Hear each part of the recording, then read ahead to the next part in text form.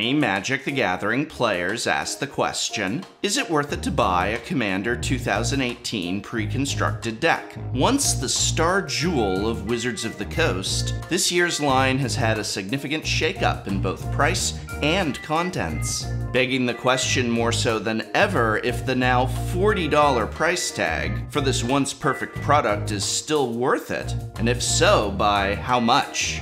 So is this price part of a plan for providing players with powerful commander cards, new and old, or just callously cashing in on a popular product? Let's take a look. Commander 2018 pre-constructed decks contain exactly the same basic components of previous Commander decks.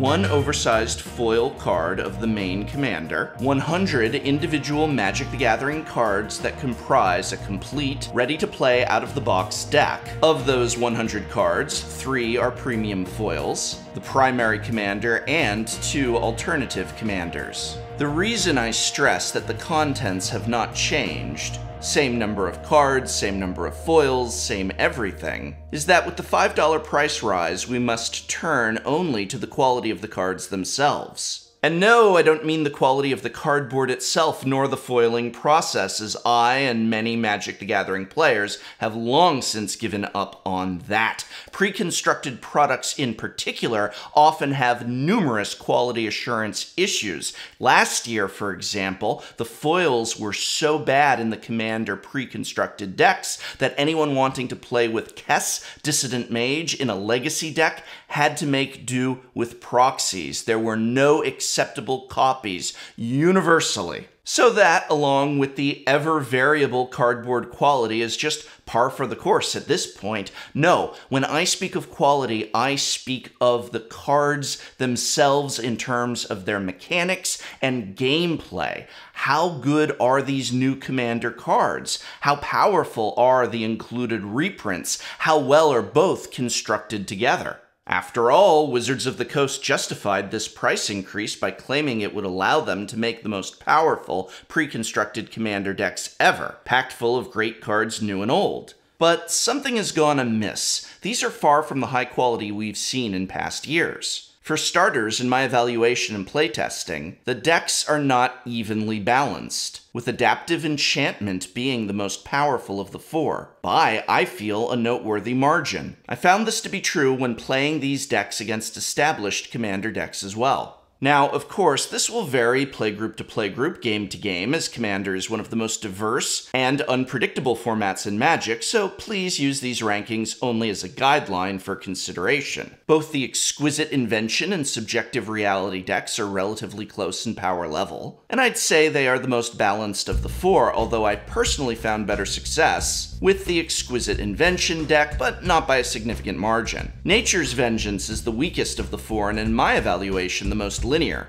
It's a basic Jundam out style ramp strategy, can be scary when it gets going early, but lacks significant payoff and synergy. Compared to previous years, this is extremely disappointing. The 2017, 2016, 2014, 2013 decks are overwhelmingly better, and I can see no option where, had I no pre-constructed commander decks, that I would purchase the 2018 offerings over any of the previous years, with perhaps one or two debatable exceptions. The only reason to purchase these new offerings is simply that next to none of the old decks can be found for $40 or less anymore. So even with the price increase, these are the cheapest offerings. Do not, I repeat, do not pay above MSRP for any of the 2018 Commander decks. Once you start going above MSRP, you could pick up decks from previous years instead. But hey, Commander is a format where the weakest deck often takes second place, so I guess you can be assured of a steady slew of second place victories with these lackluster cards. So in terms of overall power, I feel very strongly this year is one of, if not the biggest duds. Not justifying the $5 price increase, not that I understand logically how printing better cards would require a higher purchase price. But since we're talking price, what about financially?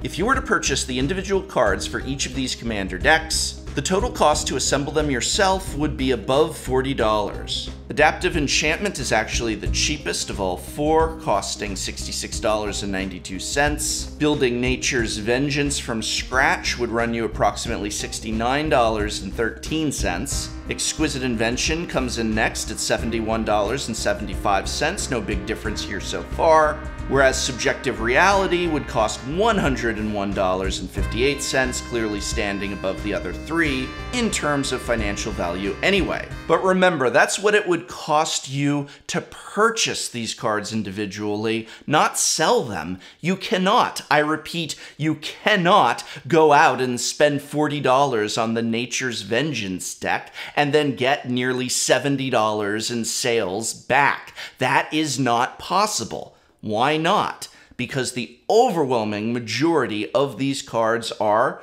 bulk. Bulk cards are worth less than $1, are usually never played in any refined deck lists, and oftentimes include cards valued merely at 10 to 50 cents. But that value is meaningless if you own these cards. You can't reliably sell a 35 cent uncommon. 100 of these bulk cards may add up to over $40, but even getting that $40 back is going to be difficult with these decks. Out of all four of them, the most expensive single card is Yuriko, the Tiger's Shadow, the exceptionally popular new commander from Subjective Reality.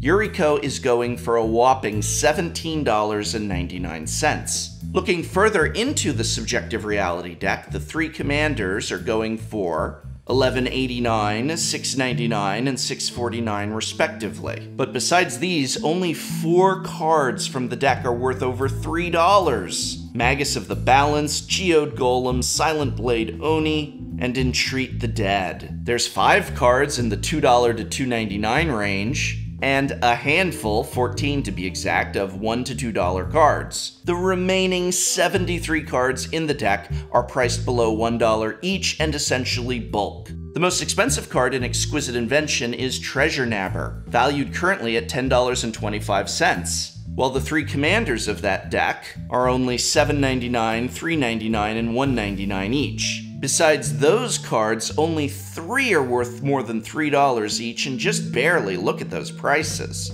Four are in the $2 to $2.99 range, and there's only 10 cards currently selling for $1 to $2 from this deck. The most expensive card in Nature's Vengeance is Lord Windgrace himself, at $8.80, with the alternate commanders being 299 and 229 each. Ick.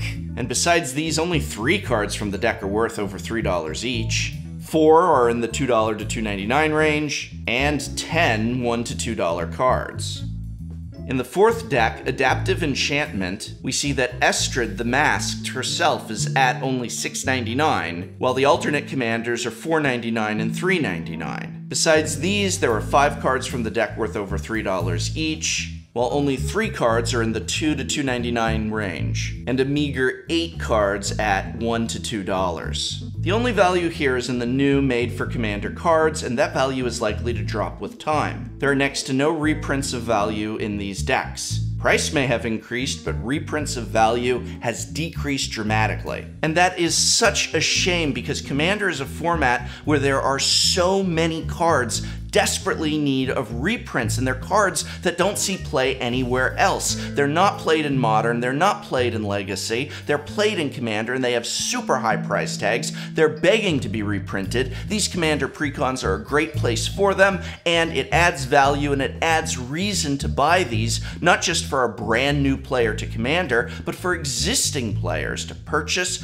upgrade, to get the cards they need for the decks they want to play. That system is one where everybody wins. Final conclusion the 2018 pre constructed Commander decks are the worst in the product line's history. All value and interest is tied up in the commanders themselves, and they are the primary reason to purchase these decks. The decks are not well balanced, they are weaker than previous years, and there is less of a roadmap for upgrades, no real reprints of value. Nevertheless, they still remain the cheapest and easiest way for a brand new Commander player to sit down with a fully functioning Commander deck. There's also a lot of interesting legendary cards scattered throughout, and thus these singles indeed may be a hot buy for established Commander players itching to brew up a new deck. Grade B minus. Ooh, B minus. That's the grade they give you in grad school when you're failing. Do not pay above MSRP for any of the 2018 Commander decks. Period. If you can get any pre-constructed decks from previous years for the same or near cost, do so instead. If all you want is Yuriko, the Tiger's Shadow, to build a kick-ass ninja deck, then buy the singles you need. And, it, and if you want to sit down and start playing Commander and don't know where to begin, then yes, you can absolutely buy one of these and play it with friends right out of the box. Hey, you might even take second place. And this video is brought to you by my and many other people's local game store, Card Kingdom, a brick and mortar pillar of this community, as well as the Patreon support of viewers such as you. These are the people that keep Tolarian Community College going and growing strong. So thank you.